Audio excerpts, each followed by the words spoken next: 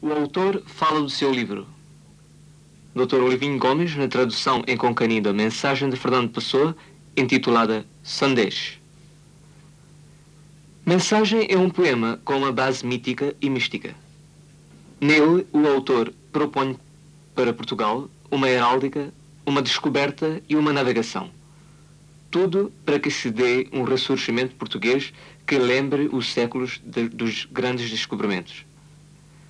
É por isso considerado uma espécie de réplica aos Lusíadas.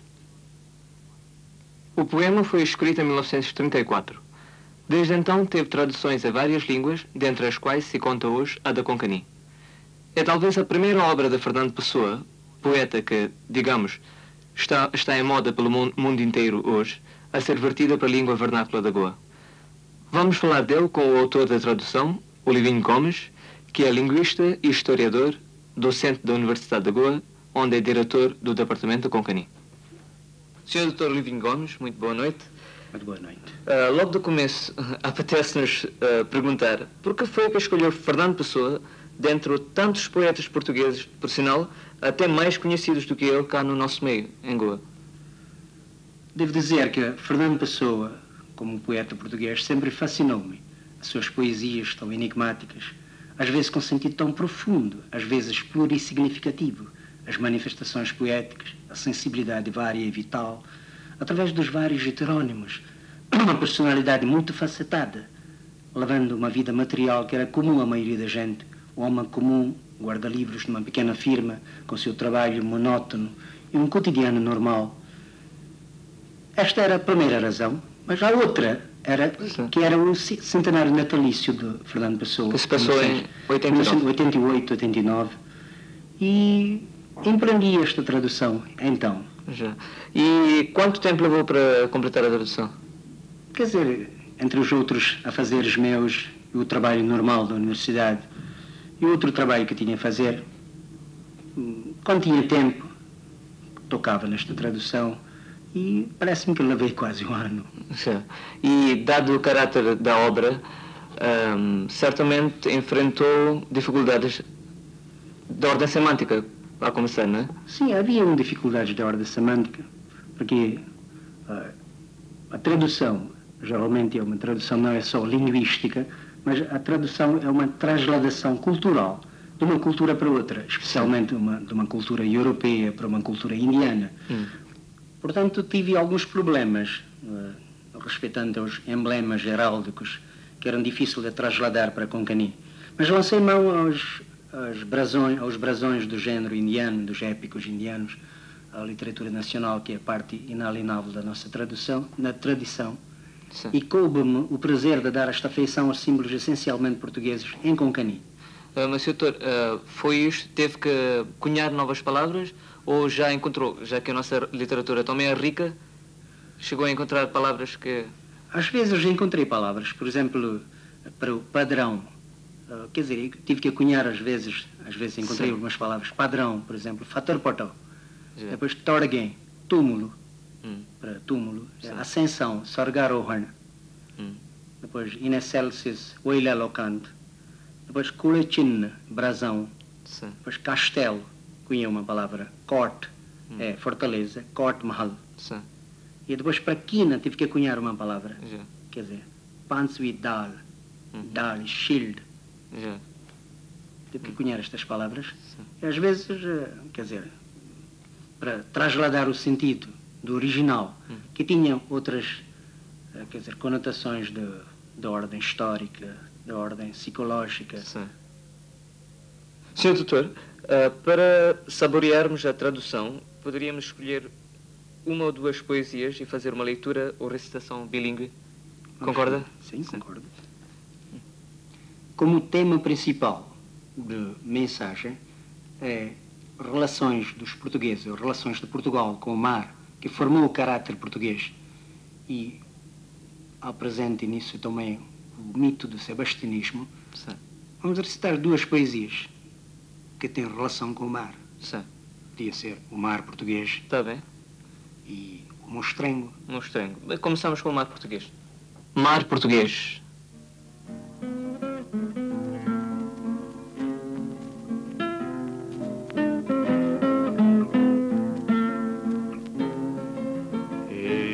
Esposo olhos,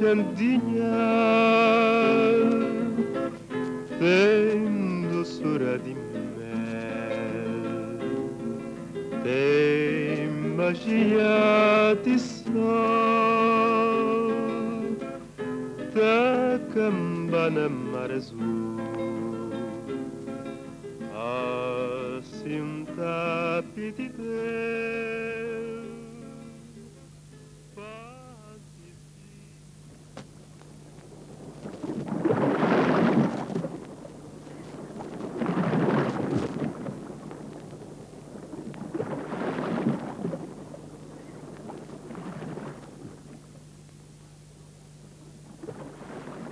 Ó mar salgado, quanto do teu sal são lágrimas de Portugal.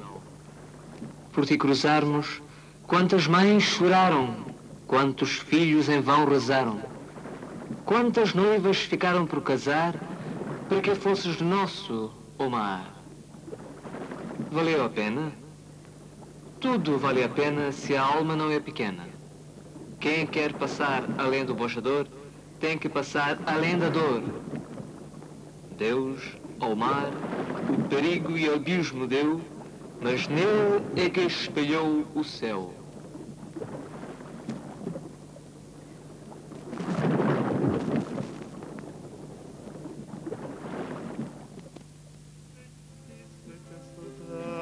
madrugada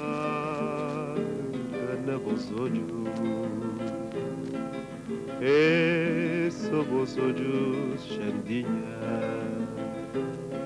e callua e castrella e cappella di mare e che fetti sue che soldate madrugada da vosso Portuguese दर्या दर्या खाऱ्या कितलें तुजें मीठ जाल्लीं पुर्तुगाला दुकां वय तुजेर जैत जोडून चांट मारून कितल्यो बाबड्यो आवय रडल्यो नात कितल्या पुतांनी व्यर्थ प्रार्थना केली कितल्यो वकलो उरल्यो लग्ना विरयत तूं जावचो देखून खाशेलो आमचो दर्या. कश्ट तांचे वैग आयले फळाक जाणांत सगळ्या कश्टांक फावता फळ आत्मो नासतो जाल्यार सुकुल्लो सान. जो बोजादोर दडून वचूंक सोदता फुडें ताणें तर पार मारूंक जाय दुख्खी पेल्यान. देवान आखांत संकेश्ट दर्याक दिलें खर नाशिल्लें आस्कळ विस्कळ वरिश्ट पूण हारशेलें तातून पडबिंब मळब रुपान A segunda poesia que vamos recitar é Mostrengo. Mostrengo é um símbolo da oposição que os portugueses enfrentavam nesta viagem. Fala dos perigos do desconhecido, do misterioso do mar, que travava os desejos dos portugueses para sulcar mares nunca dantes navegados. O mostrengo.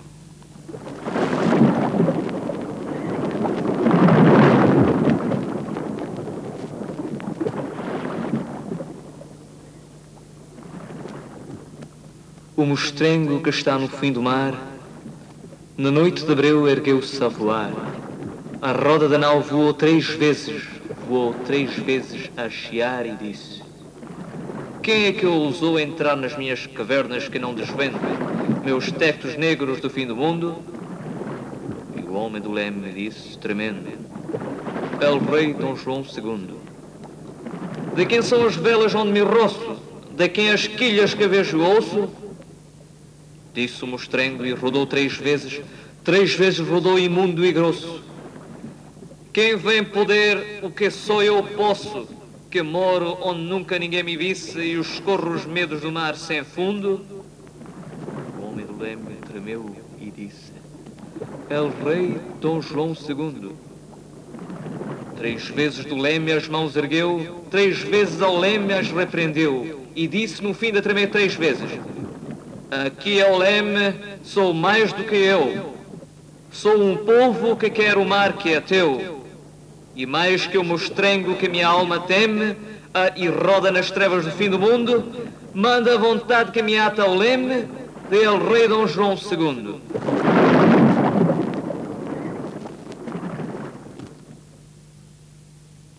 Rakesh दर्या शेवटा तोंकार आसलो राखेस बिरेवा काळखी राती उठलो उडून तारवां भोंवतीन तीन बोवाडे घालून उडलो तीन फावटी किळूंच मारीत. विचारून सणसणीत व्हडल्या ताळ्यान. कोण तो भितर सरूंक दाळजलो वय. धोलिनी म्हजे जांचो फोडिना हांव गुट. संवसारा अंत काळे पाडस म्हजे आणि जाप दिली तांडेलान कांपरो भरीत. महाराजा साहेब दुसरो दोंजवाव कोणा शिडां गश्टतात म्हाका तारवां कोणे ओडटात कान नदर आड्डत अशें तिन्ना घुंवलो राकेस. भोवाडे घालीत घुंवलो विद्रूप मोठो. कोण तो येता व्हरूंक सत्ता म्हजी जंय रावता हांव देखना कोणूच म्हाका धांवढायता खर नाशिल्ल्या दर्या भिरांत आनी तांडेलान रोखडे सांगळे थरथरून. महाराजा साहेब दुसरो दोंजवाव तीनदा वेऱ्या वेले उखल्ले हात तीन फावटी पडते धरले वेऱ्याक. आणि सांगले तीन पावटी धडधडून ह्या वेऱ्याक धरपी हांव म्हजेकूय व्हड हांव प्रजा दर्या तुजो जायगा म्हाका ह्या वेऱ्याक धरपी हांव म्हजेकूय व्हड हांव परजा दर्या तुजो जायगा म्हाका आणि राकेशा परस जो म्हाका घालता भंय आणि घुंवता संसार सोंपत्या खोल काळखंत ती महाराजा दोन जिवांची इत्सा फरमायता म्हाका वेऱ्याक धरून Rao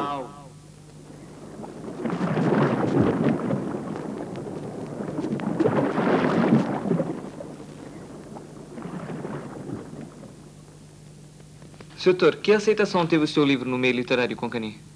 A aceitação foi geralmente boa. Os que conhecem o português, os que sabem, os que escrevem com canim, alguns falaram bem, outros não disseram nada. Mas, geral, a aceitação foi- parece-me que foi boa. Sim. Conhece outras obras de tradução eh, na literatura Concani? Assim, ou vice-versa? Não acha que este processo enriquece bastante ambas as literaturas? Enriquece, sim. Mas eu também traduzi alguns, alguns contos do autor português Virgílio Ferreira em Concani. Sim. E traduzi alguns contos do, do nosso conterrâneo José da Silva Coelho, Sim. eh, em Concanim, por exemplo, o Cacho de Bananas do advogado Serapião, Uhum. que eu traduzia em Concanim como o Aquila Changaraula. E ao Sr. Pandurunga Bangui, Hum. que traduziu O Marinheiro de Fernando Pessoa Ah, sim. em Concanim, como Taruati. Isto quando Que foi? não está publicado ainda. Não está ainda publicado. Não, não está ainda publicado. Então a sua obra é a primeira? Parece-me que sim. Sim. Ah, sabemos também que o Sr. Doutor tra- ah, anda a trabalhar intensamente no campo da literatura, como também da história. A sua recente, recente viagem à Europa tem a ver com isto ou não? Eu estive em Portugal em outubro, novembro do ano passado e tive que, estive à procura dos antigos manuscritos do Concanim, especialmente da obra dos jesuítas e franciscanos do século XVI e XVII, quando a língua Concanim tinha atingido grau muito elevado. Sim. E consegui alguns manuscritos lá. Já. E da vez passada, quando em 1991, por intermédio da UGC, University Grants Commission, estive na França, ali consegui um manuscrito grande em caracteres Candevi, que eram caracteres originais do Concani, Ah, sim. uma obra chamada Flos Santorum, Uhum. e escrita por um franciscano português, Frei Amador da Santana, Uhum. de que, hum, de que sabia-se muito pouco. Sim. Então, eu trouxe o microfilme e vamos eh, passar ao papel. Depois vamos, vamos ver se posso editar Sim. esta obra. Portanto, no próximo futuro podemos esperar alguns trabalhos mais da, da sua lavra. Sim, estou trabalhando nesta, quer dizer, a reconstituição da literatura antiga do Concani, Já. em particular. E também tenho outros trabalhos sobre, tra, tenho traba, trabalhos de tradução, de tradução de uma língua indiana para Concani, quer dizer, do Maratha, um Arogya Niketan que estou traduzindo para Concani. Uhum. E depois outro projeto de literatura medieval com Canim. Quer dizer, literatura medieval, é um projeto da Sahitya Academy, a Academia Nacional das Letras, eh, que tem o período medieval está dividido, eh, quer dizer, é o período de 1100 a 1800. Hum.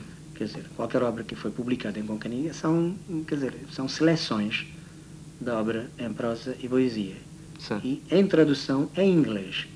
E depois eu sou o editor da língua, Uhum. language editor, e tenho que preparar um Tem algum, survey article. sim. Tem algum trabalho já no prelo? Ah, Eu tenho duas obras no prelo, quer dizer, uma do espanhol, é do Calderón de la Barca, La Vida é Sueno, traduzido em Concani em verso, ah, é um, é um drama, Uhum. uh, Jivit Mararsapan, e outra obra é do Ibsen, Henrik Ibsen, Hum. do norueguês, mas através de uma tradução francesa e tradução inglesa, Já. que fiz em Concani, Ghosts, fiz em Concani como Lao en Bhutan. Uhum. Que estão, estas duas obras estão prontas, são patrocinadas pela Sahit Academy. Sim. História é o assunto do gosto meu. Eu preparei algumas apresentações.